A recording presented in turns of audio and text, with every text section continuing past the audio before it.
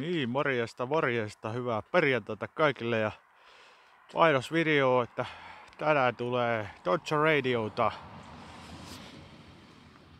Kello 18 ja tällä ja tänään on tulossa jotain pieniä ehkä mä ajattelin haastattelupuheluita muutamia sitten, että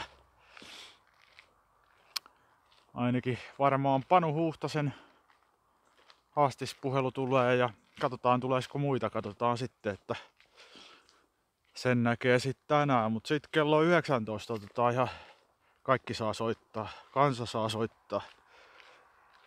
Otetaan silloin puheluita ja lisää ja näin. Ja katsotaan mikälainen perjantai-lähetys saadaan aikaiseksi.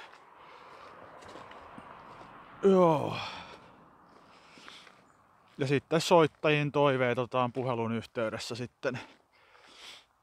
Että ne on ainoastaan sitten, silleen saa sitten, jos haluaa toiveita, niin soittamalla ja siinä puhelun yhteydessä sitten laitetaan biisi soimaan ja näin kaikille tiedoksi.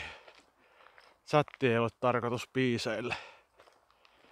Eli soittaa lähetykseen, jos haluaa biisiä, niin mutta se ei tarkoita sitä, että ainoastaan vaan soittaa ja heti katkaista. Pitää sinne jotain keskustelua olla. Kun on ratiolähetys, niin siinä jotain juttelua pitää olla. Ei, mä toivotan kaikille hyvää viikonloppua. Pitääpähän tänään käydä saunassa ennen lähetystä, niin sitten on puhdas tulevaan lähetykseen illalla. Niin ei näin, näin näreet ja viikonloppu ja moi moi!